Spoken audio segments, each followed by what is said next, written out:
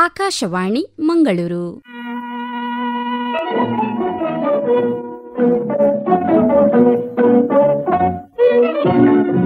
ಯುವವಾಣಿ ದಾರಿದೀಪ ನಮ್ಮೆಲ್ಲ ಕೇಳುಗರಿಗೆ ಇಂದಿನ ಯುವವಾಣಿ ದಾರಿದೀಪ ಕಾರ್ಯಕ್ರಮಕ್ಕೆ ಪ್ರೀತಿಯ ಸ್ವಾಗತ.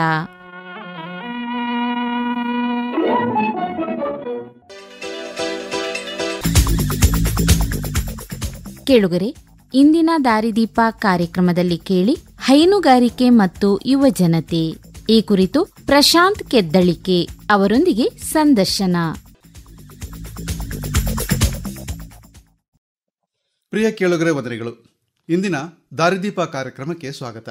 ಕೃಷಿ, ಹೈನುಗಾರಿಕೆ ಇತ್ಯಾದಿ ಒಂದು ಕೂಡು ಕುಟುಂಬದ ಗ್ರಾಮೀಣ ವ್ಯವಸ್ಥೆ ಆಗಿತ್ತು ಅದು ಉದ್ಯಮ ಆಗಿರಲಿಲ್ಲ. ಈಗ ಹೈನುಗಾರಿಕೆ ಉದ್ಯಮ ಆಗಿದೆ. ಒಂದೊಮ್ಮೆ ಮನೆಯಲ್ಲಿ ಹತ್ತಾರು ಜನ ಇದ್ದಾಗ ಹತ್ತಾರು ಎಕರೆ ಭೂಮಿ ಇದ್ದಾಗ ಹೈನುಗಾರಿಕೆ ಅನ್ನುವಂಥದ್ದು ಅತ್ಯಂತ ಸಲೀಸಾಗಿ ಮನೆ ವಾರ್ತೆ ಮಟ್ಟಿಗೆ ನಡೀತಿತ್ತು.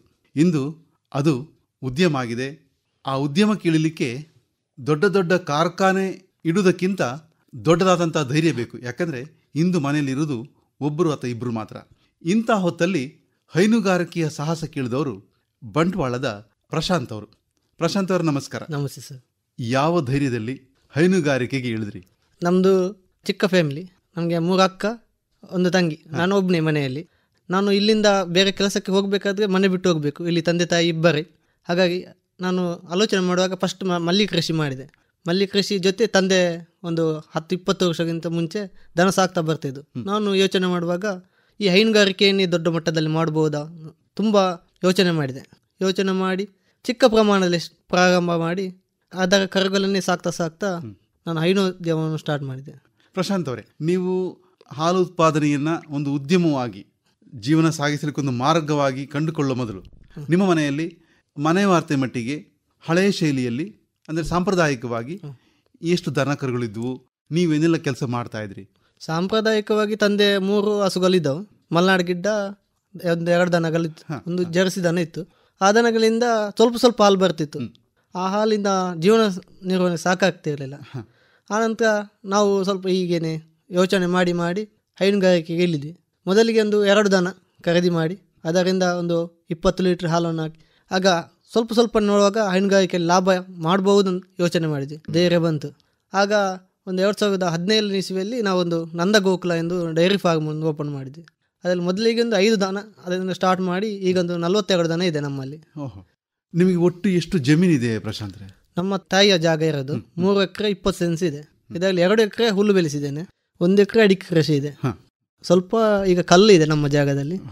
ಕೃಷಿಗೆ ಸ್ವಲ್ಪ ಅನಾನುಕೂಲ ಆಗ್ತದೆ ಪ್ರಶಾಂತ್ ಅವರೇ ನೀವು ಮನೆ ವಾರ್ತೆ ಮಟ್ಟಿಗೆ ಇದ್ದಂತಹ ದನ ಕರುಗಳನ್ನ ಅದನ್ನೇ ವಿಸ್ತರಣೆ ಮಾಡಿ ಉದ್ಯಮ ಮಾಡ್ಲಿಕ್ಕೆ ಹೊರಟಾಗ ತಂದೆ ತಾಯಿ ಏನು ಸಲಹೆ ಕೊಟ್ಟರು ನಿಮ್ಗೆ ಧೈರ್ಯ ಕೊಟ್ರ? ಅಥವಾ ಅಧೈರ್ಯದ ಮಾತು ಬಂತ ನಿಮ್ಮ ತಂದೆ ತಾಯಿಯಿಂದ ಮತ್ತು ಅಕ್ಕಪಕ್ಕದಿಂದ ತಂದೆ ತಾಯಿಯ ಸಪೋರ್ಟಿಂದನೇ ನಾವು ಇಷ್ಟು ತನಕ ಬಂದಿದ್ದೀವಿ ನೀವು ಮಾಡು ಆಗುತ್ತೆ ಮಾಡುವ ನಾವು ಸಹ ಸೇರ್ತೇವೆ. ಹಾಗೆ ಅವರ ಅವರು ಹೇಳ್ತಾ ಹೇಳ್ತಾ ನಮಗೆ ಅವರ ಮಾರ್ಗದರ್ಶನದಲ್ಲಿ ನಾವು ಮಾಡ್ತಾ ಹೋದ್ವಿ. ಈಗ ಎಲ್ಲ ಕೆಲಸವನ್ನು ನಾನು ಒಬ್ಬನೇ ಮಾಡ್ತಿಲ್ಲ. ಒಬ್ಬ ಲೇಬರ್ ಇದ್ದಾನೆ. ಮತ್ತೆ ತಂದೆ ತಾಯಿ ಇವರೇ ಮಾಡ್ತಾರೆ ಜಾಸ್ತಿಯಾಗಿ. ಎಲ್ಲ ನಾವು ಸೇರಿಕೊಂಡು ಎಲ್ಲ ಕೆಲಸ ಮಾಡ್ತೀವಿ. ದನ ಸಾಕಾಣಿಕೆ ಅನ್ನುವಂಥದ್ದು ಒಂದು ಕೂಡು ಕುಟುಂಬದ ವ್ಯವಸ್ಥೆ. ಈಗ ನಿಮ್ಮ ಅಕ್ಕ ತಂಗಿಂದರಿಗೆಲ್ಲ ಮದುವೆ ಆಗಿದೆ. ಅವರು ಊರಿಗೆ ಬಂದಾಗ ಈ ಕೆಲಸದಲ್ಲಿ ಸೇರುದುಂಟಾ? ಮತ್ತು ಅವರ ಮನೆಯಲ್ಲಿ ಇದೆಲ್ಲ ವ್ಯವಸ್ಥೆ ಉಂಟಾ ಹೇಗೆ? ನಮ್ಮ ಮನೆಯಲ್ಲಿ ನೋಡಿ ಅವರು ಸಹ ಇಲ್ಲಿಂದ ಕೊಂಡೋಗಿ ಅವರು ಸಹ ಹೈನುಗಾರಿಕೆ ಮಾಡ್ತಾ ಇದ್ದಾರೆ ಕೆಲವರು. ಅವರು ಬಂದಾಗ ಅವರು ಸಹ ಬರ್ತಾರೆ ನಮ್ಮ ಜೊತೆ ಕೆಲಸಕ್ಕೆ. ಆ ಸೆಗಣಿ ತೆಗಿಲಿಕ್ಕೆ ಹಟ್ಟಿ ತೊಳಿಲಿಕ್ಕೆ ಆ ಹುಲ್ಲು ತಾಗ್ಲಿಕ್ಕೆ ಎಲ್ಲದಕ್ಕೆ ಬರ್ತಾರೆ ಮೊದಲಾದ್ರೆ ದನ ಕರುಗಳನ್ನ ಬಿಟ್ಟು ಮೇಯಿಸುವ ಕ್ರಮ ಇತ್ತು. ಊರಲ್ಲಿ ತುಂಬಾ ಜಾಗ ಇತ್ತು. ಬಯಲು ಕಾಡು ಗುಡ್ಡ ದನಗಳು ಮೇಯುವ ಗೋಮಾಳ ಇತ್ಯಾದಿ ಇತ್ತು. ಈಗ ಹಳ್ಳಿಯಲ್ಲಿ ಕೂಡ ಜನಸಂಖ್ಯೆ ಜಾಸ್ತಿ ಆಗಿದೆ. ಬಿಟ್ಟು ಮೇಯಿಸೋದು ತುಂಬ ಕಷ್ಟವೇ. ನೀವು ಸ್ವಲ್ಪ ಆದರೂ ಬಿಟ್ಟು ಮೇಯಿಸೋ ಕ್ರಮ ಇಟ್ಟುಕೊಂಡಿದ್ರ ನಿಮ್ಮ ಜಾಗದಲ್ಲಿ ಆರಾಮದಲ್ಲಿ ತಿರುಗಾಡುವ ಹಾಗೆ? ನಮ್ಮಲ್ಲಿ ಸ್ಥಳಾವಕಾಶ ತುಂಬ ಕಡಿಮೆ ಉಂಟು ಸರ್. ಅಷ್ಟು ದಿನ ಬಿಡಲಿಕ್ಕೆ ಸಹ ಲೇಬರ್ ಸಹ ಬೇಕಾಗುತ್ತೆ. ಅದು ಸ್ವಲ್ಪ ಕಷ್ಟದ ಮಾತು ಇಲ್ಲಿ ದಕ್ಷಿಣ ಕನ್ನಡ ಜಿಲ್ಲೆಯಲ್ಲಿ. ಮಾಡಬಹುದು ಅದು ಸ್ವಲ್ಪ ಕಷ್ಟದ ಮಾತು. ಹಾಗಾಗಿ ನಾವು ಕಟ್ಟಿ ಹಾಕಿ ಸಾಕ್ತಿದ್ದೇವೆ ಈಗ. ಒಂದು ಪ್ಲಾನ್ ಇದೆ ಮುಂದಕ್ಕೆ. ಒಂದು ಬಿಟ್ಟು ಮೇಯಿಸಬೇಕು ಸ್ವಲ್ಪ ದನಗಳು ಓಡಾಡಬೇಕು ಅಂತ. ಅದು ಈಗ ಇದ ಈಗ ನನ್ನ ಪರಿಸ್ಥಿತಿಯಲ್ಲಿ ಸ್ವಲ್ಪ ಕಷ್ಟ ಉಂಟು ನಮ್ಮ ಮನೆಯಲ್ಲಿ. ಅದು ಮಾಡಬೇಕಾದ್ರೆ ಸ್ವಲ್ಪ ಜಾಗ ಜಾಸ್ತಿ ಇದ್ದರೆ ಮಾಡ್ಬೋದು. ದನಗಳನ್ನು ಸಾಕುವಾಗ ಹೆಚ್ಚಿನವರು ಆಲೋಚನೆ ಮಾಡಲೇಬೇಕಾದಂತಹ ಒಂದು ವಿಷಯ ಅಂತ ಹೇಳಿದ್ರೆ ಮತ್ತು ಅದಕ್ಕಾಗಿ ತುಂಬ ತಲೆ ಕೆಡಿಸ್ಕೊಳ್ಳುವಂಥದ್ದು ಪ್ರಯೋಗ ಮಾಡ್ತಾ ಹೋಗುವಂಥದ್ದು ಯಾವುದಂತ ಹೇಳಿದ್ರೆ ದನಗಳ ಕಾಲ ಕೆಳಗೆ ಏನು ಹಾಕೋದು? ಕೆಲವರು ಕಲ್ಚಪಡಿ ಹಾಕ್ತಾರೆ ಸಿಮೆಂಟ್ ಕಾಂಕ್ರೀಟ್ ಹಾಕ್ತಾರೆ ಸೊಪ್ಪು ದರಲ ಎಲ್ಲ ಒಂದು ಕಾಲದಲ್ಲಿ ಆಯಿತು. ಈಗ ಅದು ಸಾಧ್ಯ ಇಲ್ಲ. ಈಗ ರಬ್ಬರ್ ಶೀಟ್ ಹಾಕುವಂತ ಕ್ರಮ ಬಂದಿದೆ. ನೀವು ಯಾವ ಕ್ರಮ ಅನುಸರಿಸ್ತಾ ಇದ್ದೀರಿ? ನಾವು ಮೊದಲಿಗೆ ಕಾಂಕ್ರೀಟ್ ಫಿನಿಶ್ ಮಾಡಿದ್ವಿ. ಅದು ರಬ್ಬರ್ ಮ್ಯಾಟ್ ಹಾಕಿದ್ವಿ. ರಬ್ಬರ್ ಮ್ಯಾಟ್ ಹಾಕಿದ್ರೆ ಅದರ ಅನಾನುಕೂಲ ಜಾಸ್ತಿ ಉಂಟು. ಗೊರಸು ತುಂಬಾ ಉದ್ದ ಬರ್ತದೆ. ಮತ್ತೆ ಬಿಸಿ ಹೀಟ್ ತುಂಬಾ ಹೀಟ್ ಆಗುತ್ತೆ ದನಗಳಿಗೆ. ಅಲ್ಲಲ್ಲಿ ರೋಮ ಹೋಗುತ್ತೆ. ಅದಕ್ಕಿಂತ ಸಿಮೆಂಟ್ ನೆಲನೇ ನನ್ನ ಲೆಕ್ಕದಲ್ಲಿ ಅದೇ ಉತ್ತಮ. ಕಲ್ಲಿನ ಚಪ್ಪಡಿ ಮಾಡಿದ್ರೆ ಅಲ್ಲಿ ಅದರಲ್ಲಿ ನೀರು ನಿಂತು ರೋಗ ಜಾಸ್ತಿ ಆಗುತ್ತೆ. ಕೆಚ್ಚಲ್ ಬಾವಿನಂತ ಸಮಸ್ಯೆ. ರೈತರಿಗೆ ತುಂಬಾ ತೊಂದರೆ ಅಂದ್ರೆ ಕೆಚ್ಚಲ್ ಬಾವು. ಹೈನುಗಾರಿಕೆಯಲ್ಲಿ ಆರ್ಥಿಕವಾಗಿ ನಷ್ಟವಾಗುವುದಂದ್ರೆ ಕೆಚ್ಚಲ್ ಬಾವು. ಕೆಚ್ಚಲ್ ಬಾವು ನಾವು ನಿರ್ವಹಣೆ ಮಾಡಿದ್ರೆ ಹೈನುಗಾರಿಕೆಯಲ್ಲಿ ಯಶಸ್ವಿ ಸಾಧಿಸಿದ ಹಾಗೇನೆ. ನೀವೀಗ ಕಾಂಕ್ರೀಟನ್ನೇ ನಾವು ಕಾಂಕ್ರೀಟ್ ನೆಲವನ್ನೇ ಹಾಕಿದ್ವಿ ಈಗ ಮೊದಲಿನ ಕಾಲದ ಹಾಗೆ ಸೊಪ್ಪು ಅಥವಾ ತರಗಲೆ ಇತ್ಯಾದಿ ಅದರ ಬಗ್ಗೆ ನೀವು ಯೋಚನೆ ಮಾಡಿದ್ದುಂಟಾ? ಅದ್ರ ಬಗ್ಗೆ ನಿಮ್ಗೆ ಯಾರಾದರೂ ಸಲಹೆ ಕೊಟ್ಟದುಂಟಾ ಅದು ಹಟ್ಟಿಗೆ ಹಾಕ್ಲಿಕ್ಕೆ ಕಷ್ಟ ಸರ್ ಅದು. ನಾವು ಗೊಬ್ಬರ ಹೊರಗಡೆ ಮಾಡ್ತೇವೆ ಸ್ವಲ್ಪ ಸ್ವಲ್ಪ. ನಮಗೆ ಬೇಕಾದಷ್ಟು ನಾವು ಗೊಬ್ಬರ ಮಾಡ್ತೇವೆ. ತೆಗೆದ ಸೆಗಣಿಯನ್ನು ಅಥವಾ ಸ್ಲರಿ ನೀರನ್ನು ಹಾಕಿ ನಮ್ಮ ತೋಟಕ್ಕೆ ಬೇಕಾದಷ್ಟು ನಾವು ಹಟ್ಟಿ ಗೊಬ್ಬರವನ್ನು ನಾವು ಮಾಡ್ತೇವೆ. ಹೊರಗಡೆ ಬೇಡಿಕೆ ತುಂಬ ಇದೆ. ಎಲ್ಲರೂ ಹೇಳ್ತಾರೆ ಗೊಬ್ಬರ ಮಾಡಿಕೊಡಿ ಗೊಬ್ಬರ ಮಾಡಿಕೊಡಿ. ಅದು ಸ್ವಲ್ಪ ಕಷ್ಟದ ಮಾಸ ಲೇಬರ್ ಸಮಸ್ಯೆ. ಮೇನ್ ಅಂತ ಲೇಬರ್ ಸಮಸ್ಯೆ. ಹಾಗಾಗಿ ನಾವು ಅದಕ್ಕೆ ಹೋಗ್ಲಿಲ್ಲ ಈಗ. ಎಲ್ಲರೂ ಹೈನುಗಾರಿಕೆಗಳಿಲಿಕ್ಕೆ ಭಯ ಪಡದೆ ಈ ವಿಚಾರ ನೀವು ಹೇಳಿದ್ದು. ಲೇಬರ್ ಸಮಸ್ಯೆ. ಲೇಬರ್ ಸಮಸ್ಯೆ. ಮನೆಯಲ್ಲಿ ಎಂಟತ್ತು ಜನ ಇದ್ರೆ ಏನಾದರೂ ಸುಧಾರಿಸಿಕೊಂಡು ಹೋಗ್ಬೋದು. ನೀವೀಗ ಯಾವುದೆಲ್ಲ ಕೆಲಸಗಳಿಗೆ ಈ ದನ ಸಾಕಾಣಿಕೆಯ ಯಾವುದೆಲ್ಲ ಕೆಲಸಗಳಿಗೆ ಹೊರಗಿನ ಕೂಲಿಯನ್ನು ನಂಬಿಕೊಂಡಿದ್ದೀರಿ ಮತ್ತು ನೀವು ಎಷ್ಟೆಲ್ಲ ಕೆಲಸ ಮಾಡ್ತೀರಿ? ಇಲ್ಲ ಒಬ್ಬರು ಮಾತ್ರ ನಮ್ಮ ಹತ್ರ ಇರೋದು. ಮತ್ತೆ ನಾವೆಲ್ಲ ಮಿಷಿನರಿಯನ್ನು ಆದಷ್ಟು ಮಿಷಿನರಿ ಮಾನವ ಶ್ರಮ ತುಂಬಾ ಕಡಿಮೆ ಮಾಡಿದ್ದೇವೆ. ಹುಲ್ಲು ಕತ್ತರಿಸಲಿಕ್ಕೆ ಮಿಷಿನ್ ಹುಲ್ಲು ಕೊಯ್ಲಿಕ್ಕೆ ಮಿಷಿನ್ ಮಾಡಿದ್ದೇವೆ. ಹಾಲು ಕರೆಯಲಿಕ್ಕೆ ಮಿಷಿನ್ ಮಾಡಿದ್ದೇವೆ. ಮತ್ತೆ ಕರೆಂಟ್ ಹೋದ ಜನರೇಟರ್ ವ್ಯವಸ್ಥೆ ಮಾಡ್ಕೊಂಡಿದ್ದೇವೆ. ಅದನ್ನೆಲ್ಲ ನಾವು ಒಟ್ಟುಗೂಡಿಸಿ ಮಾನವ ಶ್ರಮವನ್ನು ತುಂಬಾ ಕಡಿಮೆ ಮಾಡಿ ಒಂದು ಎರಡು ಲೇಬರ್ ಅಲ್ಲಿ ನಾವು ಈಗ ಕೆಲಸ ಮಾಡ್ತಿದ್ದೇವೆ. ಹಟ್ಟಿಯ ಕೆಲಸದಲ್ಲಿ ನೀರನ್ನು ಸ್ಪ್ರೇ ಮಾಡಲಿಕ್ಕೆ ಬಿಟ್ಟು ಉಳಿದ ಯಾವ ಕೆಲಸಕ್ಕೆ ಕರೆಂಟ್ ಬೇಕು ಹಾಲು ಕರೆಯೋದಕ್ಕೆ ಬೇಕಾ ಹೇಗೆ? ಹಾಲು ಕಲಿ ಕರೆಯಕ್ಕೆ ಮತ್ತು ಹುಲ್ಲು ಕತ್ತರಿಸಲಿಕ್ಕೆ. ಇದಕ್ಕೆ ಕರೆಂಟ್ನ ಅವಶ್ಯಕತೆ ಇರುತ್ತೆ. ಕರೆಂಟ್ ಇಲ್ಲದ್ದು ಜನ ಜನರೇಟರ್ ನಾವು ಯೂಸ್ ಮಾಡ್ತೀವಿ. ಈಗ ಹೊರಗಿಂದ ಬಂದ ಲೇಬರರ್ ಕೆಲಸಗಾರರು ಒಬ್ಬರು ಬರ್ತಾರಲ್ಲ ಅವರು ಮತ್ತು ನೀವು ಮನೆಯವರು ನಿಮ್ಮ ಕೆಲಸವನ್ನು ಹೇಗೆ ಹಂಚಿಕೊಳ್ತೀರಿ? ಅವ್ರಿಗೆ ಯಾವ ಕೆಲಸ ಕೊಡ್ತೀರಿ? ಇಲ್ಲ ಈಗ ನಮ್ಮತ್ತು ಒಬ್ಬ ಹುಡುಗ ಇದ್ದಾನೆ. ಅವನಂದ್ರೆ ನಮ್ಮ ಮನೆಯವರ ಹಾಗೇನೆ ಆಗಿದ್ದಾನೆ. ಎಲ್ಲ ಕೆಲಸವನ್ನು ನಾವು ಹೇಳದಿದ್ದು ಅವನಿಗೆ ಗೊತ್ತು. ಒಂದು ಸಲ ಹೇಳಿಕೊಟ್ರೆ ಎಲ್ಲ ಕೆಲಸವನ್ನು ಅವನೇ ಮಾಡಿ ಮುಗಿಸ್ತಾನೆ. ತಾನೇನು ಮಾಡಬೇಕು ಗೊತ್ತಿರುತ್ತೆ ಅವನಿಗೆ. ಹಾಲು ಕರೆಯೋದಿಂದ ಹಿಡಿದು ಫೀಡ್ ಕೊಡುವುದು. ಒಂದು ದನಕ್ಕೆ ಎಷ್ಟು ಫೀಡ್ ಕೊಡಬೇಕು? ಎಷ್ಟೊತ್ತಿಗೆ ಹಾಲು ಕರಿಬೇಕು ಎಷ್ಟೊತ್ತಿಗೆ ಹಟ್ಟಿ ತೊಲಿಬೇಕು ಅವನಿಗೆ ಹೇಳ್ಬೇಕಂತ ಏನಿಲ್ಲ. ಅವನಷ್ಟಕ್ಕೆ ಮಾಡಿಕೊಂಡು ಹೋಗ್ತಾನೆ. ಅದೊಂದು ನಮಗೆ ಪ್ಲಸ್ ಪಾಯಿಂಟ್ ಆಗಿದೆ. ಈ ಹೈನುಗಾರಿಕೆ ಇಳಲಿಕ್ಕೆ ಯುವಕರು ಇಂದಿನ ಪೀಳಿಗೆ ಯಾರ ಇರ್ಬೋದು? ಒಂದು ಭಯ ಅಂತ ಹೇಳಿದ್ರೆ ಮನೆ ಬಿಟ್ಟು ಹೋಗೋದು ಕಷ್ಟ. ಮನೆಗೆ ಅಂಟಿಕೊಂಡಿರಬೇಕು. ಯಾವುದೋ ಒಂದು ಕೆಲಸಕ್ಕೋ ಸಮಾರಂಭಕ್ಕೋ ಹೋಗಿ ಬರೋದಾದ್ರೆ ಕಷ್ಟ. ಇದು ನಾವು ಕಟ್ಟಿ ಹಾಕಿದ ಹಾಗೆ. ನಾವು ದನ ಕಟ್ಟುವುದಿಲ್ಲ ನಾವೇ ಕಟ್ಟಿಕೊಳ್ಳೋದಂತ. ಅಷ್ಟು ಸಮಸ್ಯೆ. ನೀವು ನಿಮ್ಮ ತಂದೆ ತಾಯಿ ನೀವು ಆ ಕೆಲಸದವರು ನಿಮ್ಮ ಶ್ರೀಮತಿಯವರು ಒಟ್ಟಿಗೆ ಹೇಗೆ ಹಂಚಿಕೊಳ್ತೀರಿ? ಕೆಲವೊಮ್ಮೆ ಇದರಲ್ಲಿ ನಿಮ್ಮೊಳಗೆ ತಕರಾರು ಬರುವಂಥದ್ದು ಅಥವಾ ಬೇಜಾರಾಗುವಂಥದ್ದು ಕಷ್ಟ ಆಗುವಂಥದ್ದು ಇದೆಲ್ಲ ಇದೆಯಾ ಹೇಗೆ? ಹಾಗೆ ಇದೆ ಸರ್. ನಾವು ಅದನ್ನು ಕೆಲಸ ಎಲ್ಲ ಮುಂಚೆ ಮಾಡಿಬಿಟ್ಟು ಎಲ್ಲಿ ಹೋಗಬೇಕಾದ್ರೆ ಆ ಟೈಮ್ಗೆ ಬರ್ತೀವಿ. ಇಲ್ಲದ್ರೆ ಅದಕ್ಕೆ ಬೇಗ ಬೇಕಾದ ವ್ಯವಸ್ಥೆಯನ್ನು ಮಾಡಿಬಿಟ್ಟು ಮನೆ ಇದ್ದಾಗ ಅವತ್ತು ಸ್ವಲ್ಪ ಹೇಳಿ ನಾವು ಅಡ್ಜಸ್ಟ್ ಮಾಡ್ಕೊಂಡು ಹೋಗ್ತೀವಿ. ಪ್ರಶಾಂತ್ ಅವರೇ ಈ ಹೈನುಗಾರಿಕೆಗೆ ಬೇಕಾದಂತಹ ಬಂಡವಾಳ ಇದರ ವ್ಯವಸ್ಥೆ ಇದೆಲ್ಲ ತುಂಬಾ ವಿಸ್ತಾರವಾದ್ದು ಮತ್ತೆ ತುಂಬಾ ರಗಳೆ ಸಮಸ್ಯೆ ಕಷ್ಟ ಆಗುವಂಥ ವಿಚಾರಗಳು. ನಿಮಗೆ ಸಾಂಪ್ರದಾಯಿಕವಾಗಿ ಮಾಡಿಕೊಂಡು ಬಂದ ಅನುಭವ ಇತ್ತು. ಸ್ವಲ್ಪ ಮಟ್ಟಿಗೆ ಸುಧಾರಿಸಲಿಕ್ಕೆ ಸಾಧ್ಯ ಆಗ್ತದೆ. ಆದರೆ ಆರಂಭದಲ್ಲಿ ದನಗಳ ಸಂಖ್ಯೆ ಹೆಚ್ಚು ಮಾಡಬೇಕಂದಾಗ ಲೋನ್ ತಗೊಳ್ಬೇಕು. ಕೆಲವೊಮ್ಮೆ ಮತ್ತು ವರ್ಷದಲ್ಲಿ ಕೆಲವೊಮ್ಮೆ ಹಾಲು ಕಡಿಮೆ ಆದಾಗ ಬ್ಯಾಂಕ್ ಲೋನ್ ಕಟ್ಟಲಿಕ್ಕೆ ಆಗುವಂಥ ಸಮಸ್ಯೆಗಳು. ಇದು ಹೇಗೆ ಮಾಡಿಕೊಂಡ್ರಿ? ಮತ್ತು ವರ್ಷದಿಂದ ವರ್ಷಕ್ಕೆ ದನಗಳ ಸಂಖ್ಯೆ ಜಾಸ್ತಿ ಮಾಡ್ತಾ ಬಂದ ಹಾಗೆ ಬ್ಯಾಂಕಿನ ವ್ಯವಹಾರ ಹೇಗಾಯಿತು?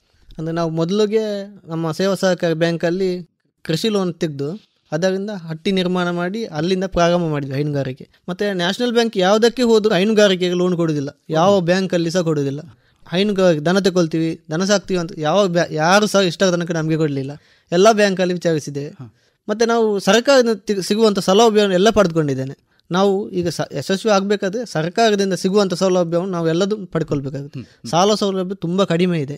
ನ್ಯಾಷನಲ್ ಬ್ಯಾಂಕಲ್ಲಿ ಕೊಡುವುದಿಲ್ಲ ಉದ್ಯಮಕ್ಕೆ ಅಂತ ಕೊಡ್ತಾರೆ. ದನ ತಗೊಳ್ಲಿಕ್ಕೆ ಅಂತ ಯಾವ ಬ್ಯಾಂಕಲ್ಲಿ ಸಹ ಕೊಡುವುದಿಲ್ಲ ನಾವು ಕೃಷಿ ಲೋನ್ ಮಾಡಿಬಿಟ್ಟು ಅದರಿಂದ ಇದು ಮಾಡಿದ್ವಿ. ಮತ್ತೆ last time P M G ಪಿಯಲ್ಲಿ ನಾನು ಇದ್ದ ದನಗಳಿಗೆ ಒಂದು ಹತ್ತು ದನಕ್ಕೆ ಮತ್ತೆ ಮಾಡಿದೆ. ಹತ್ತು ದನ ಪರ್ಚೇಸ್ ಮಾಡಿದೆ. ಅದು ಲಾಸ್ಟ್ ಟೈಮ್ ನಮ್ಮ ವ್ಯವಹಾರ ನೋಡಿ ಮತ್ತೆ ಕೊಟ್ಟರು ಒಮ್ಮೆ ನಾವು ಫಸ್ಟಿಗೆ ನಾವು ಸಾಧಿಸಿದ ಮೇಲೆ ಬ್ಯಾಂಕ್ನಾಗ ಬಂದು ಕೊಡ್ತಾರೆ ನೋಡಿ. ಅದಕ್ಕಿಂತ ಮುಂಚೆ ಯಾರು ಬಂದು ಕೊಡುವುದಿಲ್ಲ ಕಳೆದ ಹತ್ತು ವರ್ಷಗಳಿಂದ ಈ ಸಹಕಾರಿ ಸಂಸ್ಥೆಗಳಲ್ಲಿ ಹೈನುಗಾರಿಕೆಗೋಸ್ಕರ ಸಾಲ ತಗೊಳ್ತಿದ್ರಲ್ಲ? ಅದನ್ನ ಹೇಗೆ ಹೇಗೆ ಯಾವ ರೀತಿಯಲ್ಲಿ ಪಡ್ಕೊಂಡ್ರಿ? ಅದಕ್ಕೇನು ನಿಮಗೆ ಸಮಸ್ಯೆಗಳು ಬಂದು ಆ ವಿಚಾರದಲ್ಲಿ? ಸಹಕಾರಿ ಬ್ಯಾಂಕಲ್ಲಿ ಬರುವ ಕೃಷಿ ಲೋನೇ ಮಾಡಿದ್ದು. ನಾವು ಹೈನುಗಾರಿಕೆಗಂತ ಅಂತ ಏನು ಮಾಡಲಿಲ್ಲ. ಮತ್ತು ನ್ಯಾಷನಲ್ ಬ್ಯಾಂಕಲ್ಲಿ P M G P L ಒಂದು ಸ್ಕೀಮ್ ಮಾಡಿದ್ವಿ. ಅದರಲ್ಲಿ ಅದು ಸ್ವಲ್ಪ ತುಂಬ ಕಷ್ಟ ಕೊಡ್ತಾರೆ ಅಲ್ಲಿ ಸಹ. ಒಂದ್ಸಲ ನಾವು ಡಾಕ್ಯುಮೆಂಟ್ ಕೊಂಡೋದ್ರೆ ಇದು ಸರಿ ಇಲ್ಲ ಮತ್ತೊಂದು ತನ್ನಿ. ನಮ್ಮನ್ನೊಂದು ಆರು ತಿಂಗಳು ಆಚೆ ಈಚೆ ಅದು ನಾವು ಛಲ ಬಿಡಲಿಲ್ಲ. ಮಾಡಿ ಅದರಲ್ಲಿ ಎಸ್ ಟಿ ಎಸ್ ಸಿಗೆ ತರ್ಟಿ ಫೈವ್ ಪರ್ಸೆಂಟ್ ಸಬ್ಸಿಡಿ ಇದೆ. ಆ ಸಬ್ಸಿಡಿಯನ್ನು ನಾವು ಗೌರ್ಮೆಂಟಿಂದ ತಗೊಂಡಿದ್ದೇವೆ. ಅದು ಸ್ವಲ್ಪ ಕಷ್ಟ ಉಂಟು ಅದಕ್ಕೆ ಹೋಗ್ಲಿಕ್ಕೆ. ಕೆಲವರು ಒಂದೆರಡು ಸಲ ಹೋಗ್ತಾರೆ ಮತ್ತೆ ಬಿಡ್ತಾರೆ. ಅದು ಕಷ್ಟ ಉಂಟು ಅದು ಆಗೋದಿಲ್ಲ. ನಾವು ಛಲ ಬಿಡದೆ ಮಾಡಿದ್ರೆ ಖಂಡಿತ ಸಾಧ್ಯ ಇದೆ. ದನಗಳನ್ನು ಮ್ಯಾನೇಜ್ ಮಾಡೋದು ಸುಲಭವ ಬ್ಯಾಂಕ್ ಮ್ಯಾನೇಜರ್ನ ಮ್ಯಾನೇಜ್ ಮಾಡೋದು ಸುಲಭವ? ಬ್ಯಾಂಕ್ ಮ್ಯಾನೇಜರ್ ಕಷ್ಟ ಇದೆ. ದನಗಳನ್ನದು ಹೇಗೆ ಮ್ಯಾನೇಜ್ ಮಾಡ್ಬೋದು? ಬ್ಯಾಂಕ್ ತುಂಬ ಕಷ್ಟ ಇದೆ. ಸರಿ ಸರಿ. ಹಟ್ಟಿಯಲ್ಲಿ ಕೆಲಸ ನೀವು ಮಾಡ್ತೀರಿ ಅದಕ್ಕಾಗಿ ಸಮಯವನ್ನು ನೀವು ಹೊಂದಿಸ್ಕೊಳ್ಬಹುದು ಕೆಲಸ ಹಾಲು ಖರೀದಿ ಇತ್ಯಾದಿ. ಈ ಹಾಲು ಕೊಟ್ಟು ಬರುವ ಕೆಲಸ ಉಂಟಲ್ಲ ಎಲ್ಲ ಹೈನುಗಾರರು ಸೋಲೋದಿಲ್ಲಿ. ಅದಕ್ಕೆ ಸಮಯ ಹೊಂದಿಸಿಕೊಳ್ಳುವಂಥದ್ದು ಸ್ವಲ್ಪ ದೂರ ಇರ್ತದೆ. ಅದಕ್ಕೆ ಸಾಗಾಟ ಯಾರು ಕೊಟ್ಟು ಬರೋದು ಮನೇಲಿ ಯಾರು ಇರ್ತಾರೆ ಇದೆಲ್ಲ ತುಂಬ ದೊಡ್ಡ ಸಮಸ್ಯೆ. ನೀವು ಇದನ್ನು ಹೇಗೆ ಮ್ಯಾನೇಜ್ ಮಾಡಿದ್ರಿ? ಅಂದರೆ ನಾವು ಬಿ ಎಂ ಸಿಗೆ ನಮ್ಮ ಸೆಂಟರಿಂದ ಬಿ ಎಂ ಸಿಗೆ ನಾವೇ ನಮ್ಮ ಗಾಡಿಯಲ್ಲಿ ಸೆಂಡ್ ತಗೊಂಡು ಹೋಗ್ತೀವಿ. ಹಾಗೆ ಅಲ್ಲಿ ಎಂತೂ ಹೋಗೋ ಗಾಡಿ ಇದೆ. ಅಲ್ಲಿಂದ ನಮ್ಮ ಫಾರ್ಮಿಂದ ಆ- ಆ ವೆಹಿಕಲ್ ಅಲ್ಲಿ ಕೊಂಡು ಹೋಗ್ತೀವಿ ಹಾಲನ್ನು. ಅದೊಂದು ನಮಗೆ ಸ್ವಲ್ಪ ಸುಲಭ ಆಗ್ತದೆ. ಅದನ್ನು ಕಷ್ಟ ಅಷ್ಟು ಗೊತ್ತಾಗಲ್ಲ. ಈ ಡೈರಿಯವರೇ ಮನೆಗೆ ಬಂದು ಹಾಲು ಕಲೆಕ್ಟ್ ಮಾಡೋಂಥ ವ್ಯವಸ್ಥೆ ನಮ್ಮಲ್ಲಿ ಇದೆಯಾ? ಎಲ್ಲೆಲ್ಲ ಇದೆ ಅದು? ಅದು ಇನ್ನೂ ಇಂಪ್ರೂವ್ ಆಗಬೇಕಾದಂಥ ಸ್ಥಿತಿಯಲ್ಲಿ ಉಂಟಾ ಹೇಗೆ? ಸರ್ ಅದೊಂದು ನಮ್ಮ ದಕ್ಷಿಣ ಕನ್ನಡ ಎರಡು ಗ್ರಾಮಗಳಲ್ಲಿ ಮಾಡಿದ್ದಾರೆ ಪ್ರಾರಂಭವಾಗಿ. ಅದು ಯಶಸ್ವಿ ಆಗಿದೆ. ಈಗ ಮುಂದಕ್ಕೆ ಎಲ್ಲ ಕಡೆ ಆಗುತ್ತೆ ಅಂತ ಹೇಳ್ತಾ ಇದ್ದಾರೆ. ಅದು ಕರೆಕ್ಟಾಗಿ ಮಾಹಿತಿ ಗೊತ್ತಿಲ್ಲ ಸರ್ ಅದು ಅದ್ರ ಬಗ್ಗೆ. ಮುಂದಕ್ಕೆ ಅದು ಮಾಡಿದ ತುಂಬ ಜನಗಳಲ್ಲಿ ಪ್ರಯೋಜನ ಇದೆ. ಎಲ್ಲ ಮನೆ ಮನೆಗೆ ಬಂದು ಕಲೆಕ್ಷನ್ ಮಾಡಿದ ಹಾಲಿನ ಕ್ವಾಲಿಟಿ ಸಹ ಜಾಸ್ತಿ ಆಗುತ್ತೆ. ಅಲ್ವಾ. ಹಾಗೇನೆ ಹೈನುಗಾರರ ಸ್ವಲ್ಪ ಸಮಸ್ಯೆ ಸಹ ಸ್ವಲ್ಪ ನೀಗಿದಾಗೆ ಹೌದು. ಒಂದು ಎರಡು ಗಂಟೆ ಸಮಯ ಉಳಿತಾಯ ಆಗುತ್ತೆ. ನೀವು ಕಳೆದ ಹತ್ತು ವರ್ಷದಿಂದ ಈಗ ಈ ದನ ಸಾಕಾಣಿಕೆ ಮಾಡ್ತಾ ಬಂದಿದ್ದೀರಿ. ಏಳು ಬೀಳುಗಳು ಬರ್ತವೆ. ದನಗಳಿಗೆ ಕಾಯಿಲೆ ಕಸಾಲೆ ಬರುವಂತಹದ್ದು. ಒಂದು ವೆಹಿಕಲ್ ಇಟ್ಕೊಂಡಾಗಿ ರಸ್ತೆ ಮೇಲೆ ಹೋಗುವಾಗ ಹೋಗ್ತಾ ಇರ್ತದೆ. ಹಾಳಾದ್ರೆ ಬೇಜಾರವನ್ನು ದುಡಿ ಹಾಕೋ ಸಿಟ್ಟು ಬರ್ತದೆ. ಈ ದನಗಳಿಗೆ ಬರುವ ಕಾಯಿಲೆ ಇದನ್ನು ಹೇಗೆ ಮ್ಯಾನೇಜ್ ಮಾಡ್ತೀರಿ? ಮತ್ತು ನಿಮಗೆ ಪಶುವೈದ್ಯರು ಅವರ ಅನುಕೂಲ ಹೇಗಿದೆ? ಹೈನುಗಾರಿಕೆಯಲ್ಲಿ ಮೊದಲನೇದದ್ದು ನಮಗೆ ಲಾಸ್ ಬರೋದಂದರೆ ಕೆಚ್ಚಲು ಬಾವು. ಕೆಚ್ಚಲು ಬಾವನ್ನು ಮೊದಲು ನಿರ್ವಹಣೆ ಮಾಡಬೇಕು. ಕೆಚ್ಚಲು ಬಾವು ಬೆಳಿಗ್ಗೆ ಬಂತಂದರೆ ಒಂದು ಎರಡು ಗಂಟೆ ಒಳಗೆ ನಾವು ಅದಕ್ಕೆ ಚಿಕಿತ್ಸೆಯನ್ನು ಮಾಡಬೇಕು. ಪಶುವೈದ್ಯರದ್ದು ನಮಗೆ ಸಂಪರ್ಕದಲ್ಲಿ ಇರ್ತಾರೆ ಯಾವಾಗಲೂ. ನಾವು ಈಗ ಕೆ ಎಂ ಎಫ್ನಲ್ಲಿ ಇನ್ಸಮಿನೇಟರ್ ಆಗಿದ್ದೇನೆ. ಕೃತಕ ಗರ್ಭದಾನ ಕಾರ್ಯಕರ್ತನಾಗಿ ನಾನು ನಿರ್ವಹಿಸ್ತಿದ್ದೇನೆ. ಹಾಗಾಗಿ ಡಾಕ್ಟರ್ ಸಲಹೆ ತಗೊಂಡು ನಾನೇ ಎಲ್ಲ ದನಗಳಿಗೂ ಟ್ರೀಟ್ಮೆಂಟ್ ನಾನೇ ಮಾಡ್ತೇನೆ. ಯಾವುದು ಕಾಯಿಲೆ ಬಂದು ತಕ್ಷಣ ಅದಕ್ಕೆ ಉಪಚಾರ ಮಾಡಿ ಕೆಚ್ಚಲ್ ಬಾವು ನಾನು ಮೈನ್ ಹೇಳೋದು ಕೆಚ್ಚಲ್ ಬಾವು ಮಾತು. ಕೆಚ್ಚಲ್ ಬಾವು ದನಗಳಿಗೆ. ಬರದಾಗ ನೋಡಿಕೊಂಡ್ರೆ ಖಂಡಿತವಾಗಿಯೂ ಹೈನುಗಾರಿಕೆ ಯಶಸ್ಸು ಮಾಡ್ಬೋದು. ಈಗ ನಿಮ್ಮಲ್ಲಿ ಇರುವ ಮೂವತ್ತೈದು ನಲವತ್ತು ದನಗಳಲ್ಲಿ ಯಾವ್ಯಾವ ದನಗಳು ಯಾವ್ಯಾವ ಜಾತಿ ಇದಾವೆ? ನನ್ನಲ್ಲಿ ಎಚ್ ಎಫ್ ಮೈನಾಗಿ ಜಾಸ್ತಿ ಎಚ್ ಎಫ್ ಇದೆ. ಮತ್ತೆ ಎಚ್ ಎಫ್ ಸಾಕಿದ್ರೆ ಕ್ವಾಲಿಟಿ ಬರಲ್ಲ. ಅದಕ್ಕೆ ಜರ್ಸಿ ದನ ಇದೆ. ಹತ್ತು ಹದಿನೈದು ಜರ್ಸಿ ಇದೆ. ಒಂದು ಮೂರು ಸಾಯಿವಾಲ ಇದೆ. ಒಂದು ಎರಡು ಗೀರ್ ಇದೆ. ಒಂದು ಪುಂಗನೂರು ಇದೆ. ಇಷ್ಟು ದನ ಈಗ ಇನ್ನು ಮಲ್ನಾಡು ಗಿಡ್ಡ ಸ್ವಲ್ಪ ಮಾಡ್ಬೇಕಂತ ಉಂಟು. ಮುಂದಕ್ಕೆ? ಹ. ನೀವು ಈ ಎಲ್ಲ ದನಗಳಿಗೆ ನೀವೇ ಮನೆಯಲ್ಲಿ ಆರ್ಟಿಫಿಷಿಯಲ್ ಇನ್ಸೆಮಿನೇಷನ್ ಮಾಡ್ತೀರಿ.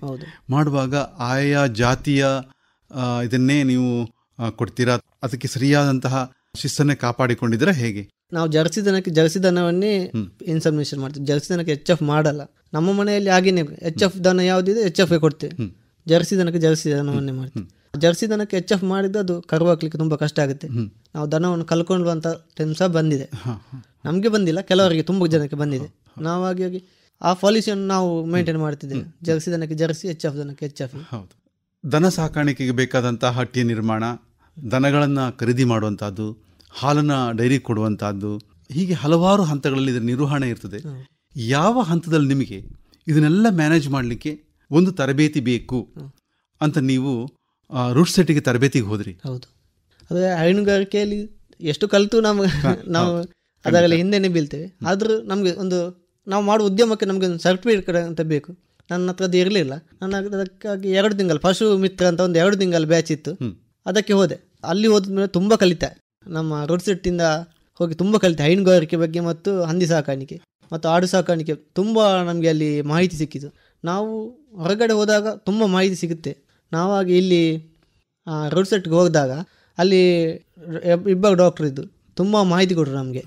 ಅದರಲ್ಲಿ ಪಶು ಮಿತ್ರ ಅಂತ. ನಮಗೆ ಅದರಲ್ಲಿ ಈಗ ಮತ್ತೆ ಮೈತ್ರಿ ಅಂತ ಕೊಟ್ರು ಮತ್ತೆ. ನನಗೆ ಹೋಗ್ಲಿಕ್ಕೆ ಆಗಲಿಲ್ಲ ಅದಕ್ಕೆ.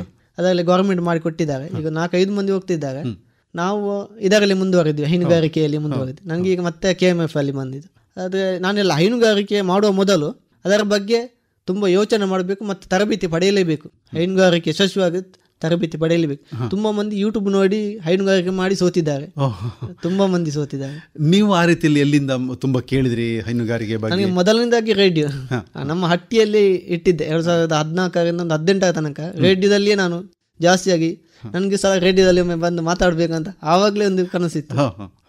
ಎಲ್ಲ ಹೇಳ್ತಿದ್ದು ನೀವು ರೇಡಿಯೋಕ್ಕೆ ಸಂದರ್ಶನಕ್ಕೆ ನಿಮ್ಮನ್ನು ಕರೀತಾರೆ ಒಂದು ದಿನ ಅಂತ ಹಾಗೆ ತುಂಬಾ ಆಸೆ ಇತ್ತು ಅದನ್ನು ಅಲ್ಲಿ ಕೇಳುವಾಗ ಅವರ ಆ, ಮಾತಾಡುವಾಗ ಎಲ್ಲ ಖುಷಿ ಆಗ್ತಿತ್ತು. ಹಾಗಾಗಿ ನಾವು ಅದರಿಂದ ಮಾಹಿತಿ ಎಲ್ಲ ತೆಗೆದುಕೊಂಡು ತುಂಬಾ ಒಂದು ಕರು ಸಾಕಾಣಿಕೆ ಬಗ್ಗೆ ಮಾಹಿತಿ ತುಂಬಾ ಸಿಕ್ಕಿದ್ದು. ಅದರಿಂದ ನಮ್ಮ ಕರುಗಳು ಈಗ ಅಷ್ಟು ದೊಡ್ಡ ದನಗಳಾಗಿದೆ ಪ್ರಶಾಂತ್ ಅವರೇ ಕಳೆದ ಒಂದು ಮೂವತ್ತು ನಲವತ್ತು ವರ್ಷಗಳ ನಮ್ಮ ಕರಾವಳಿಯ ಚರಿತ್ರೆ ನೋಡಿದರೆ ಉದ್ಯಮ ಅಂತ ನಾವು ಕೇಳ್ತೇವೆ ಡೈರಿಯ ನಮ್ಮ ಕೆ ಎಂ ಎಫ್ನ ಉತ್ಕರ್ಷವನ್ನು ನೋಡ್ತೇವೆ ನಾವು ಅದರ ಜಾಹೀರಾತು ಪ್ರಚಾರ ಕೇಳ್ತೇವೆ ನಾವು ಎಲ್ಲ ಚೆಂದ ಕಾಣ್ತದೆ. ಆದರೆ ಹಳ್ಳಿ ಹಳ್ಳಿಯಲ್ಲಿ ನಾವೀಗ ಹೈನುಗಾರಿಕೆ ನಶಿಸುವುದನ್ನು ಕಾಣ್ತೇವೆ. ಹೌದು. ಯಾರ ಮನೇಲಿ ದನಗಳಿಲ್ಲ ಮುಖ್ಯವಾಗಿ ಕಾರಣ ಅಂತ ಹೇಳಿದ್ರೆ ಆ ಕೃಷಿ ಸಂಸ್ಕೃತಿ ನಶಿಸಿ ಹೋಗಿದೆ. ಯಾರ ಮನೇಲೂ ಜನ ಇಲ್ಲ. ಅದೆಲ್ಲ ಕೂಡು ಕುಟುಂಬದ ಒಂದು ಹವ್ಯಾಸ. ನೀವು ಹೇಗೆ ಧೈರ್ಯ ಮಾಡಿದ್ರಿ? ಫಸ್ಟ್ಗೆ ನಮ್ಗೆ ಹೇಳಿದ್ದಾರೆ ನೀನು ಎಷ್ಟು ದಿವಸಕ್ಕೆ ಮಾಡ್ತಿ ಇದನ್ನು? ಎಷ್ಟು ದಿವಸಕ್ಕೆ ಇದು ಯಾರಿಗೆ ಮಾರ್ಲಿಕ್ಕೆ ಉಂಟು? ಅದು ಸಾಮಾನ್ಯವಾಗಿ ಎಲ್ಲರೂ ಹೇಳುವ ಮಾತೆ. ಅದು ನಾನು ಅವರು ಯಾರ ಮಾತನ್ನು ಕೇಳಿಲ್ಲ. ನಾನು ನನ್ನ ದಾರಿಯಲ್ಲಿ ಹೋದೆ. ಈಗ ಹೇಳ್ತಾರೆ ನೀನು ಇಷ್ಟು ಮಾಡಿದ್ದಿ ಅದು ವಿಶೇಷ. ಇನ್ನು ಹೈನುಗಾರಿಕೆ ನಮ್ಮ ದಕ್ಷಿಣ ಕನ್ನಡದಲ್ಲಿ ತುಂಬ ವೀಕ್ ಆಗ್ತಾ ಉಂಟು. ಕಾರಣ ಅಂದರೆ ಹಾಲಿಗೆ ರೇಟ್ ಇಲ್ಲ. ನಮ್ಮ ಫೀಡ್ಗೆ ತುಂಬ ರೇಟ್ ಜಾಸ್ತಿ ಮಾಡ್ತಿದ್ದಾರೆ. ಹಾಗಾಗಿ ಎಲ್ಲರೂ ಅಡಿಕೆ ರೇಟ್ ಆದಮೇಲೆ ಎಲ್ಲರೂ ವಿಮುಖ ವಿಮುಖ ಆಗ್ತಿದ್ದಾರೆ ಹೈನುಗಾರಿಕೆಯಿಂದ. ಇನ್ನು ಈಗಿನ ರೇಟ್ ಮುಂದುವರಿಸಿದ್ರೆ ಖಂಡಿತವಾಗಿಯೂ ನಮ್ಮ ದಕ್ಷಿಣ ಕನ್ನಡ ಜಿಲ್ಲೆಯಲ್ಲಿ ಆ ಹೈನುಗಾರಿಕೆ ನಾಶಿಸುವ ಸಾಧ್ಯತೆ ಇದೆ. ನೀವು ಫೀಡ್ ವಿಚಾರಕ್ಕೆ ಬಂದ್ರಿ ದನಗಳ ಪಶು ಆಹಾರ ಪಶು ಆಹಾರದ ವಿಚಾರಕ್ಕೆ ಬಂದ್ರಿ.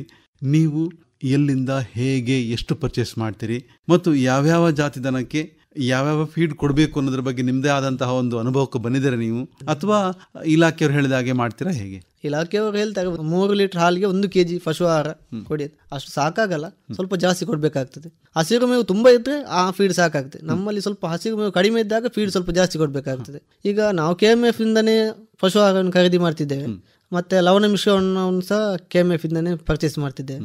ಹಾಗೆ ಸ್ವಲ್ಪ ರೇಟ್ ಜಾಸ್ತಿ ಆಯಿತು ಅಷ್ಟೇ. ಹೌದು. ಹಾಲಿನ ರೇಟು ತುಂಬ ಕಡಿಮೆ ಆಯಿತು. ಒಂದೂವರೆ ಎರಡು ಎಕರೆ ಜಾಗದಲ್ಲಿ ಹಸಿರು ಮೇವನ್ನು ಬೆಳೆಸ್ರಿ ಅಂತ ಹೇಳಿದ್ರಿ. ಮತ್ತು ಅಡಿಕೆ ತೋಟ ಇದೆ. ಈ ಅಡಿಕೆಯ ಕೆಲವು ಇದನ್ನ ಪುಡಿ ಮಾಡಿ ದನಗಳಿಗೆ ಹಾಕೋ ಕ್ರಮ ಇದೆ. ನೀವು ಅದನ್ನ ಮಾಡ್ತೀರಾ? ಅದೇ ನಾವು ಬೈಹುಲ್ಲು ನಾವು ಸ್ಟಾರ್ಟ್ ಮಾಡಿದ್ರೆ ಬೈಹುಲ್ಲು ಇವತ್ತಿನ ತನಕ ಕೊಡಲಿಲ್ಲ ದನಗಳಿಗೆ. ನಾವು ಫ್ಯಾಕ್ಟ್ರಿಯಲ್ಲಿ ಹಾಲೆ ಹುಡಿ ಸಿಗ್ತದೆ. ಅವಲಕ್ಕಿ ಆಗಿರುತ್ತದೆ ಅದರಲ್ಲಿ ನಾರಿನ ಅಂಶ ತುಂಬ ಇದೆ. ನಾವು ಅದನ್ನೇ ಮೊದಲಿನಿಂದಲೂ ಈಗ ಸಹ ಅದನ್ನೇ ಕೊಡ್ತಿದ್ವಿ. ಒಣಗಿದ ಡ್ರೈ ಆದಂಥ ಹಾಲೆ ಹುಡಿ. ಅದರಲ್ಲಿ ಫ್ಯಾಟ್ ಜಾಸ್ತಿ ಆಗುತ್ತೆ ಎಸ್ ಎನ್ ಎಫ್ ಜಾಸ್ತಿ ಆಗುತ್ತೆ.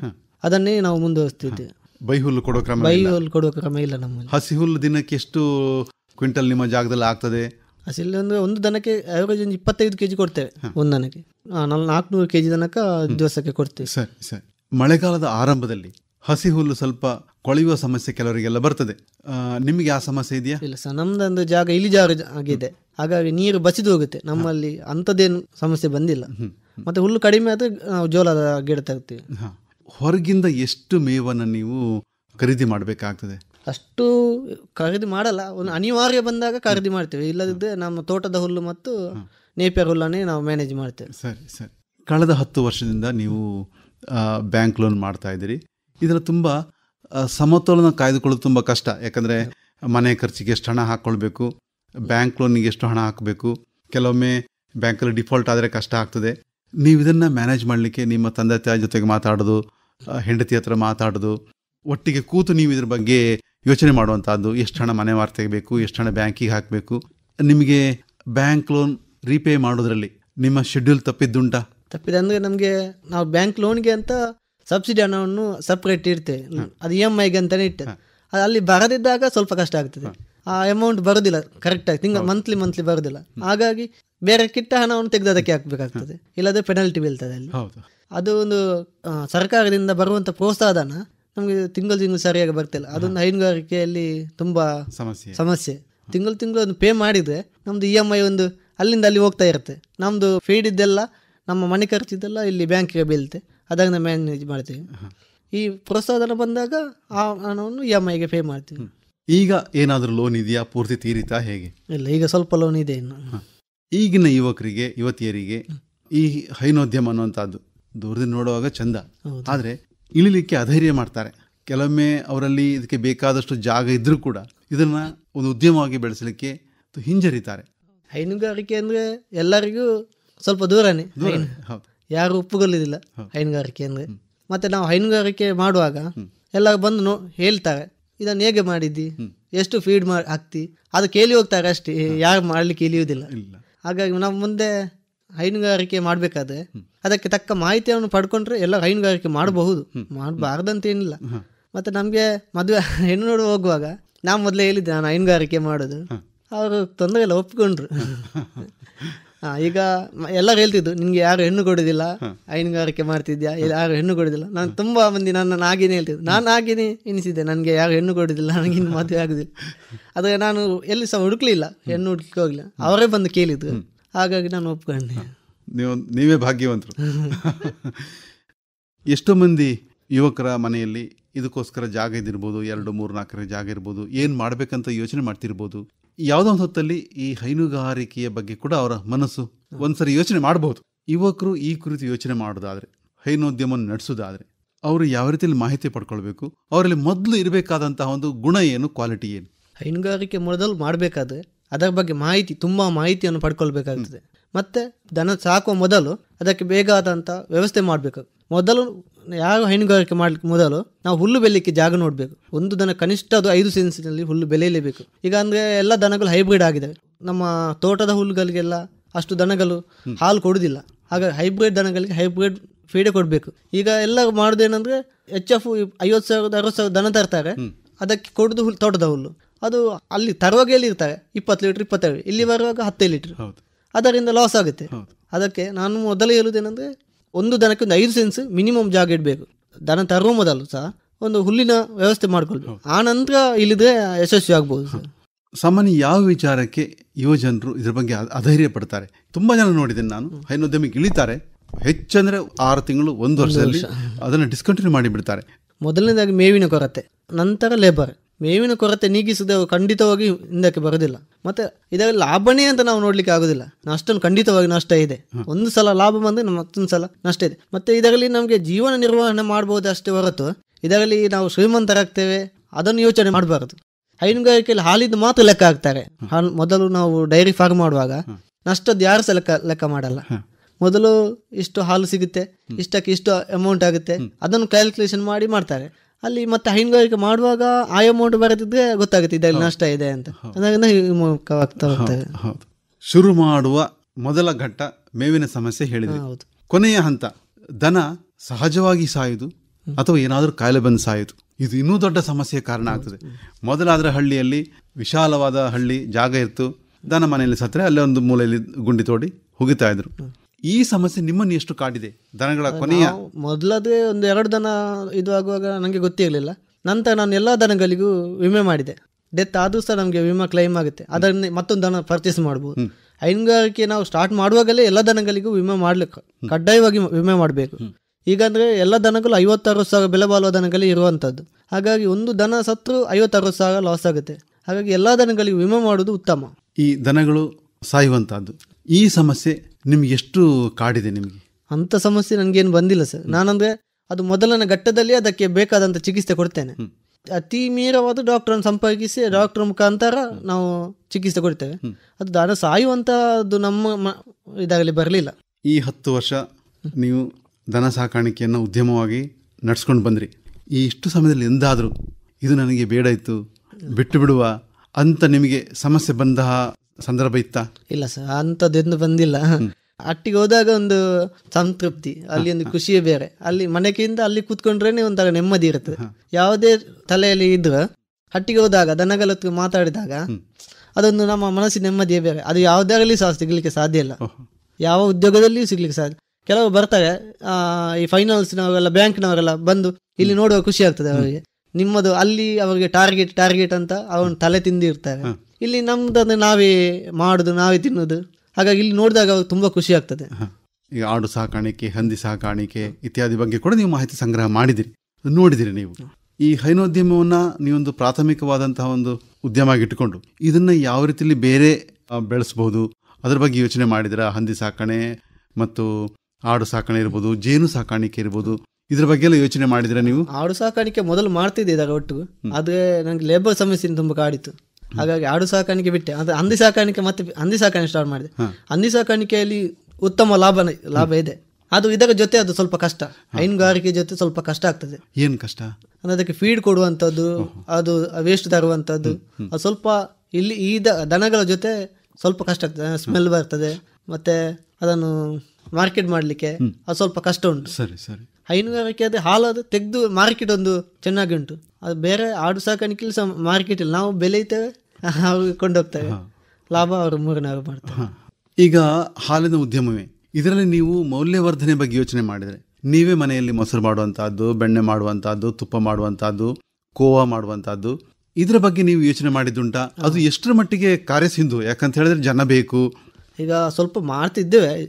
ಈಗ ಪ್ರಾರಂಭಿಕವಾಗಿ ಸ್ವಲ್ಪ ಸ್ವಲ್ಪ ಒಂದೊಂದೇ ಸ್ಟೆಪ್ ಇಡ್ತಿದ್ದೇವೆ ಬೆಣ್ಣೆಗೆಲ್ಲ ಒಳ್ಳೆ ಡಿಮ್ಯಾಂಡ್ ಉಂಟು. ಬೆಣ್ಣೆ ತುಪ್ಪ ಡಿಮ್ಯಾಂಡ್ ಅದು ಮಜ್ಜಿಗೆ ಸ್ವಲ್ಪ ಈ ಮಳೆಗಾಲದಲ್ಲೆಲ್ಲ ಕಷ್ಟ. ಹಾಗಾಗಿ ಎಲ್ಲದಕ್ಕೂ ಮಾರ್ಕೆಟ್ ಬೇಕಾಗ್ತದೆ. ಅದು ಹೊಸತು ಈಗ ಪ್ರಾಡಕ್ಟ್ ನಾವು ಮಾರ್ಕೆಟ್ ಕೊಂಡೋದಾಗ ಜನರು ಅದರ ಬಗ್ಗೆ ತಿರಸ್ಕಾರ ಮಾಡ್ತಾರೆ. ಅದು ಆ ಬ್ರ್ಯಾಂಡೇ ನೋಡ್ತಾರೆ. ನಾವು ಸ್ವಲ್ಪ ಮಾರ್ಕೆಟ್ ಮಾಡ್ಬೇಕಾದ್ರೆ ಸ್ವಲ್ಪ ಸ್ವಲ್ಪನೇ ಸ್ಟೆಪ್ ಹೋಗ್ಬೇಕು. ಎಲ್ಲ ಹಾಲನ್ನು ಒಮ್ಮೆಲೆ ಮಾರ್ಕೆಟ್ ಮಾಡ್ಲಿಕ್ಕೆ ಸ್ವಲ್ಪ ಕಷ್ಟ ಉಂಟು. ಇನ್ನು ಮಾಡ್ಬೇಕಂತ ಇದ್ದೇವೆ. ನಮ್ಮ ಹಾಲನ್ನು ನಮ್ಮ ಹೆಸರಿನಲ್ಲೇ ಪ್ರಾಡಕ್ಟ್ ಮಾಡಿ ಸೇಲ್ ಮಾಡ್ಬೇಕಂತ ಇದ್ದೇವೆ. ಈಗ ಅಷ್ಟು ಆಗ್ತಾ ಇಲ್ಲ. ಹೌದು ಹೌದು. ಕೆಲವೆಲ್ಲ ನಿಮಗೆ ಕೆಲಸ ಈಗ ಹೇಳಿದ ಹಾಗೆ ಆಗುದಿಲ್ಲ ಅಂತ. ಈ ಆಗುದಿಲ್ಲ ಅನ್ನೋದಕ್ಕೆ ಯಾವುದೆಲ್ಲ ಮುಖ್ಯ ಕಾರಣ ಆಗ್ತದೆ? ಲೇಬರ್ ಸಮಸ್ಯೆಯ ಅದಕ್ಕೆ ಹಣ ಹೂಡುವಂಥ ಸಮಸ್ಯೆಯ ಎಲ್ಲ ಪೂರಕ ವ್ಯವಸ್ಥೆಗಳು ನಮಗೆ ಲಭ್ಯ ಇರುವುದಿಲ್ಲ ಅಂತ ಸಮಸ್ಯೆಯ? ಅದೇ ಮಾರ್ಕೆಟ್ ಇದು ಒಂದು ಮಲ್- ದೊಡ್ಡ ಸಮಸ್ಯೆ ಅಂದ್ರೆ ಮಾರ್ಕೆಟ್ ಬ್ರ್ಯಾಂಡ್ ನೋಡುವಾಗ ನಮ್ಮದು ಅಲ್ಲಿ ಉಳಿಯುತ್ತದೆ. ರಿಟರ್ನ್ ಬರ್ತದೆ ಆಗುದಿಲ್ಲ ಅಂತಿಲ್ಲ ಮಾಡಬಹುದು ಆದರೆ ಆರ್ಥಿಕವಾಗಿ ಸ್ವಲ್ಪ ಕಷ್ಟ ಉಂಟು. ಮತ್ತೆ ನಾವು ಈಗ ಪ್ರಾಡಕ್ಟ್ ಕೊಟ್ಟರು ಅಲ್ಲಿ ಹಣ ಕೊಡೋದಿಲ್ಲ ಅಲ್ಲಿ. ಒಂದು ದಿವಸ ಎರಡು ದಿವಸ ಬಿಟ್ಟು ಕೊಡ್ತಾರೆ ಆಗ ನಮಗೆ ಇಲ್ಲಿ ಫೀಡ್ಗೆ ಕಷ್ಟ ಆಗ್ತದೆ. ಹಾಗಾಗಿ ಅದು ಸ್ವಲ್ಪ ಮಾರ್ಕೆಟ್ ಇದು ಸ್ವಲ್ಪ ಮೂವ್ಮೆಂಟ್ ಆದರೆ ಖಂಡಿತವಾಗಿ ಮಾಡಬಹುದು ಈ ಮಾರ್ಕೆಟ್ ಅನ್ನ ಹೊಸದಾಗಿ ರೂಪಿಸುವಂತಹದ್ದು ಮತ್ತು ಮನೆ ಮನೆಗೆ ಹಾಲು ಸಪ್ಲೈ ಮಾಡುವಂತಹದ್ದು ಮತ್ತೆ ಕೆಲವೊಮ್ಮೆ ಕೆಲವು ರೀತಿಯ ಕ್ವಾಲಿಟಿ ಬ್ರ್ಯಾಂಡ್ಗಳನ್ನು ತಯಾರು ಮಾಡುತ್ತೆ ಈಗ ನೋಡಿ ಸೌತ್ ಕೆನರಾ ಮತ್ತು ಉಡುಪಿ ಜಿಲ್ಲೆಗಳಲ್ಲಿ ಇವನು ಉತ್ತರ ಕನ್ನಡದಲ್ಲಿ ಕೂಡ ಶುರುವಾಗಿದೆ. ನಾವು ದೇಸಿ ಹಾಲನ್ನೇ ಕೊಡ್ತೇವೆ ಶುದ್ಧ ಹಾಲನ್ನೇ ಕೊಡ್ತೇವೆ ನಾವು. ಈ ರೀತಿಯಲ್ಲಿ ಬ್ರ್ಯಾಂಡ್ ಮಾಡಿಕೊಂಡು ದಿನಕ್ಕೊಂದು ನೂರಿನ್ನೂರು ಲೀಟರ್ ಹಾಲುಗಳನ್ನು ಹೊರಗಡೆ ಕೊಡುವಂತಹದ್ದು ಸಣ್ಣ ಸಣ್ಣ ಕಸ್ಟಮರ್ಗಳಿಗೆ ಕೊಡುವಂತಹದ್ದು ಅಥವಾ ಒಂದು ಹೋಟೆಲಿಗೆ ಕೊಡುವಂತಹದ್ದು ಇತ್ಯಾದಿ ಎಲ್ಲ ಶುರುವಾಗಿದೆ ಈಗ. ಖಂಡಿತ ಸಾಧ್ಯ ಇದೆ. ಆದರೆ ಮಾರ್ಕೆಟ್ ಇದ್ದು ನಾವು ತುಂಬಾ ಸ್ಟಡಿ ಮಾಡಬೇಕು. ಅಪಾರ್ಟ್ಮೆಂಟ್ ಎಲ್ಲ ಹುಡುಕಿಕೊಂಡು ಹೋಗಿ ಅಲ್ಲಿ ಹಾಲು ಮಾರುವಂಥದ್ದು ಮಾಡಬಹುದು ಆದರೆ ನಾವೇ ಹಾಲು ಕರೆದು ನಾವೇ ಕೊಂಡೋಗ್ಬೇಕು. ನಾವು ಹಾಲು ಇಲ್ಲಿ ಕರೆದು ಮತ್ತೊಬ್ಬರ ಹತ್ರ ಕೊಟ್ರೆ ಅದು ಖಂಡಿತವಾಗಿ ನಷ್ಟ ಆಗ್ಬಹುದು ಯಾರೀಗ ಹಾಲು ತೆಗಿತಾರೆ ಅವರೇ ಕೊಂಡೋಗಿ ಕೊಟ್ರೆ ಖಂಡಿತವಾಗಿ ಲಾಭ ಮಾಡಬಹುದು ಮತ್ತೆ ಸಿಟಿ ಸ್ವಲ್ಪ ಹತ್ತಿರದಲ್ಲಿ ಇರಬೇಕು. ಸ್ವಲ್ಪ ದೂರ ಇದ್ದು ಸ್ವಲ್ಪ ಕಷ್ಟ. ಸಾಗಾಟ ವೆಚ್ಚ ಕಷ್ಟ. ಸ್ವಲ್ಪ ಸ್ವಲ್ಪ ಹಾಲು ಕೊಂಡೋಗಿ ಅಲ್ಲಿ ಮಾರಾಟ ಮಾಡಬೇಕಾದ್ರೆ ಕಷ್ಟ ಆಗಬಹುದು ಈಗ ಕೆ ಎಂ ಎಫ್ ಒಂದಿದೆ. ದೊಡ್ಡದಾದಂತಹ ಜಾಲ ಇದೆ. ಇದರೊಟ್ಟಿಗೆ ಇಂತಹ ಬ್ರ್ಯಾಂಡೆಡ್ ಆಗಿ ಹಾಲನ್ನು ಕೊಡ್ಲಿಕ್ಕೆ ನಿಮ್ಮಂತಹ ಉತ್ಸಾಹಿಗಳು ನಿಮ್ಮದ್ದೇ ಆದಂತಹ ಒಂದು ಸಮಾನಾಂತರವಾದ ಒಂದು ಜಾಲವನ್ನು ಮಾಡ್ಕೊಳ್ಳಿಕ್ಕೆ ಸಾಧ್ಯ ಇದೆಯಾ?